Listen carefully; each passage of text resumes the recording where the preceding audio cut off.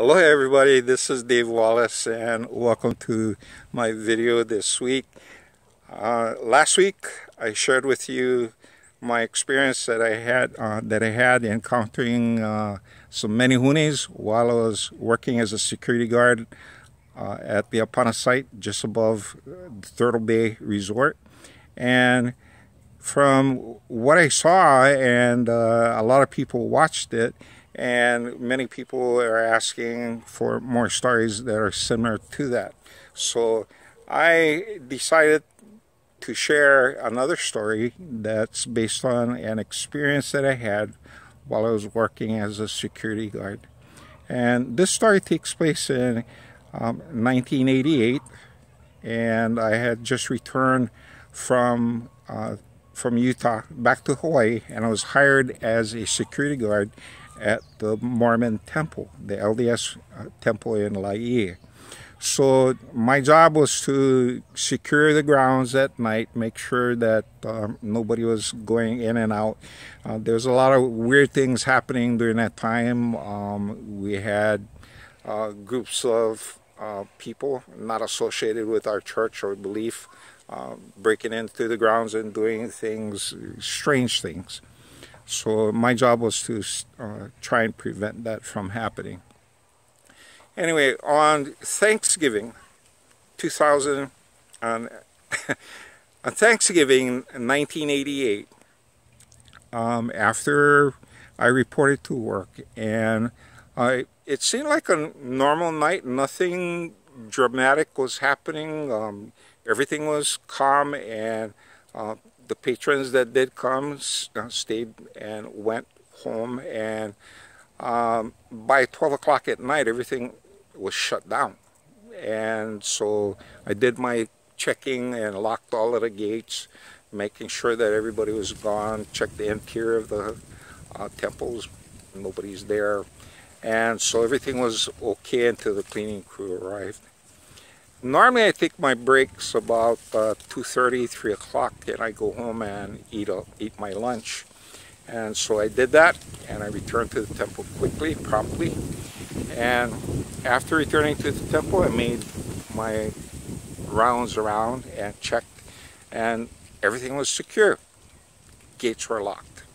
So I drove my car, which was a Chevy Nova at that time that had a bench seat and a front seat and I parked my car in such a way where the driver's, um, the passenger side uh, car door was facing directly to the temple and uh, being facing directly to the temple I lifted my both of my feet up and uh, basically lie down in the front seat with my back um, propped it up against the uh, driver's door.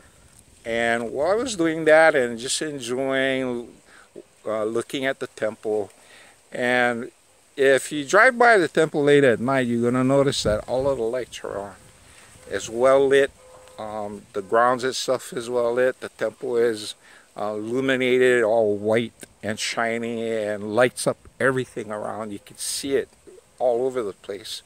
So this is the conditions that we were um, so I'm sitting there minding my own business and all of a sudden I hear a voice, a very familiar voice, a woman's voice, come into my ear and says, David John, close your eyes now. And my eyes are open and there's nothing I could do and it went shut right down. And so I'm sitting there in the front seat of the car. My eyes are closed. And the worst thing you can do as a security guard is have someone catch you sleeping. so that's the first thing went through my mind is, oh no, I wonder if somebody going to walk by and catch me sleeping. So I tried opening my eyes and I couldn't. I tried to raise my brows, I couldn't. So since my brows wouldn't work, I started push pushing up in my eyes with my fingers. And that wouldn't work. It wouldn't open my eyes. And while I'm fighting this and wondering what the heck's going on, I hear something really unusual coming from the side gate. And the side gate is a wrought iron gate and I normally secure it, uh, tie it up with a chain and padlock it and uh, that's the way we, I secure that gate. Anyway, I hear that gate open. And so um, the temple is off to my right and the gate is slightly off to my left. So I turn my head and even though my eyes are closed, I can see shadows. And these shadows look like human beings. They look like human beings and two shadows come walking through the gate and walk straight to uh, from the gate to my car and they split it up. One shadow walks and stands at my feet. The other one comes and stands right behind me. This person standing right behind me, every time he breathes out, I can smell garlic on his breath. so I know it's a real person breathing garlic on me. And so I'm trying to fight it. And um, as soon as I start trying to sit up and to uh, prop myself up more, this entity jumps on me and jumps on my chest and starts pushing me down into the seat. And for anyone who experienced a choking ghost where a spirit comes um, to you at night and pushes you down into the bed, this is what was happening to me, except this was in the front seat of my car late at night. So this entity pushing me down. And I'm wondering, why is this happening? And I'm trying to fight it. And the more I fight against it, um, I feel like something is wrapping around me and coiling around me like an anaconda snake. And it's binding me, tying me up, and keeping me immobile where I cannot move. And so the harder I fight, the more bound I feel. But as soon as I start relaxing, it relaxes. And so I, um, I get the idea that he wants me to stay quiet and stay low. So um, by behaving that way, I, I, I don't have to face more pain. So while I'm doing this and I'm trying to um, reason and think about what's happening, I see more shadows start coming out of the gate. And as I start counting them, as they start coming, there's a total of 18 of them that comes out. And as they come out, I can hear the sound of the geta. Cluck, Yeah, the son of the geta. And for those of you who don't know what a geta is, a geta is the Japanese wooden shoe that both um, the men and the women wore. So I could hear them and they would walk through the gate and come straight towards my car and uh, they walk behind me and I could hear them passing by and the women that were uh, I know there are women passing by because as they pass by, they would giggle and kind of like hee hee hee hee, make fun, uh, kind of like they're having fun. And the men who would pass by, they're they sound pretty grumpy, but they making kind of like grunting noise, grumbling, sound sound like they're grumbling.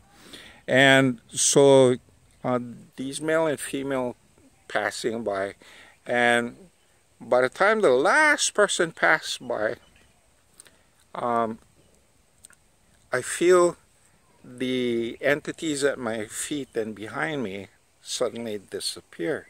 They move on. And as soon as they move on, this entity that's on top of me and holding me down leaves. And I jump up in uh, from the seat and I start looking behind to my right. And uh, if there was anybody there, I would see them in the back of my car. But there was no one there. So I start up my car and I drive through the parking lot, shining my lights, everything, and looking through the bushes, checking the yards that's uh, around the temple. There's nothing, no nobody around. So the next day, when um, you know the grounds crew and some of the uh, other temple members started coming in, I started talking with the supervisors and uh, told them what happened. And they look at me and they say, "Dave, this is the temple. What do you expect?" okay. And so it was no big deal. it was no big deal to anyone. Like, uh, you know, this comes with the territory. I didn't fully appreciate the uh, this experience until a good three months later when the grounds people who were cleaning up the areas around the temple um, suddenly came across a abandoned graveyard small little graveyard uh, containing about 18 to 20 um, headstones that were cut with long stones and Japanese characters on them. Now for me, learning about these uh, gravestones and the grave markers, um, for me it was kind of like a sign like these uh, spirits realized that they were going to be discovered. And it was their way of saying, we're here, come find us. okay, so this is a story of uh, my experience at the Hawaii LDS Hawaii Temple in uh, 1988 and this is Dave Wallace. If you enjoy what I share here, please share with other people and subscribe. Okay? And um, again, on this Saturday, July 11th, I'll be holding a live um, one hour. I'm, I'm, I'm putting aside one hour, but um, I'm having a live Facebook uh, chat and I'll be sharing my experience, uh, my first near-death experience uh, that I had. And the reason why I'm sharing it on the 11th of July is that it's my brother's birthday. My oldest brother, Bill, uh, it's his birthday.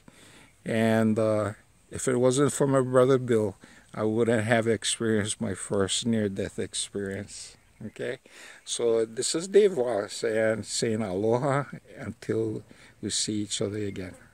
Bye-bye.